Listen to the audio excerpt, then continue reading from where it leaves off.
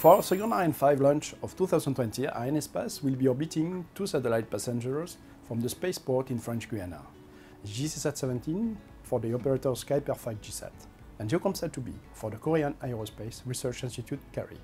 We are proud to have been selected by KARI to launch the two spacecraft of the two GEO-KOMPSAT-2 series of civilian geostationary orbiting satellites, GEO-KOMPSAT-2A and GEO-KOMPSAT-2B, which is an important national program for the country.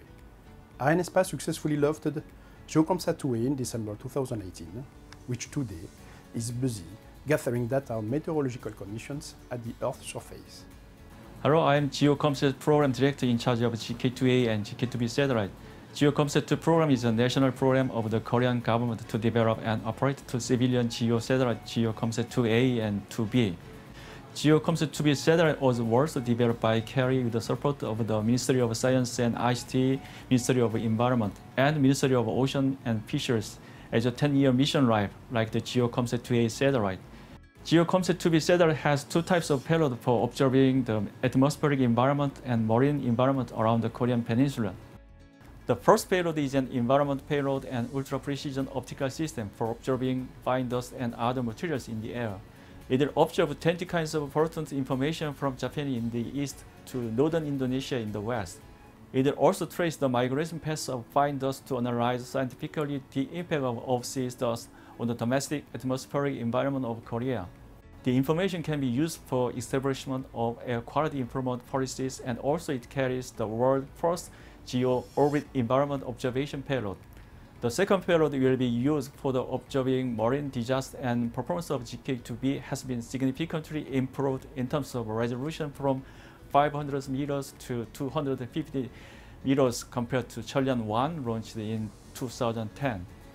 It will contribute to the protection of the marine environment and management of marine resources by monitoring the dumping of pollutants into the sea and the change in sea water quality. Moreover, it can be widely used for maritime safety and defense activities by observing sea currents and sea fogs. Finally, we expect the launching of GK2B following GK2A to establish a world-class service system for the observation of the meteorological, atmospheric, and oceanic conditions of the Korean Peninsula. Thank you Arianespace and CNES CS teams, and thanks to all of GK2 program members. GEO-KOMPSAT-2B is riding in Ariane 5's lower payload position and its deployment into geostationary transfer orbit will occur approximately 31 minutes into the missions. It has been a great pleasure to manage both GEO-KOMPSAT-2 missions since KARI's contract signature with Arianespace in 2015. And specifically, I would like to thank KARI for its confidence in Arianespace and in particular, Dr. Jae Dong Choi, Program Director, and Dr. Ho Young Lee, the launcher interface manager who always adopted constructive approach throughout the preparation for these missions.